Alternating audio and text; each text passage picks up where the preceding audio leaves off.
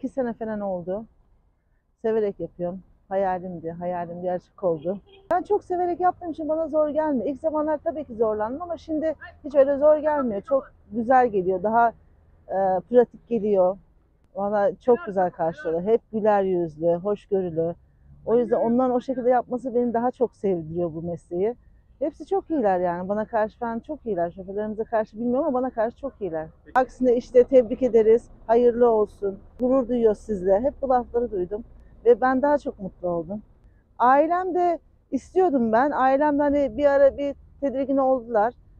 E, Çünkü sorumluluğu çok gerçekten bu işin. Ama sonradan baktılar ki yapıyorum, başarıyorum. Onlar da hoşlarına gitti, gurur duydular. Hayali olan bayanlar var görüyorum çünkü bana söylüyorlar. İşte hoşumuza gidiyor. Yapmak isteyen yapabilir yani bunu. Yeter kadın istesin her şeyi yapar ya gerçekten. Başarabilir. Dua da edince gerçek oluyor işte. Bütün kadınlar gününü kutluyorum. Kadınlarımız gerçekten benim bakış açımda çok değerliler ya. Benim çevremde kadınların hepsi gerçekten dört dörtlükler. İşte çalışmaları olsun, mücadeleleri olsun, idareleri olsun.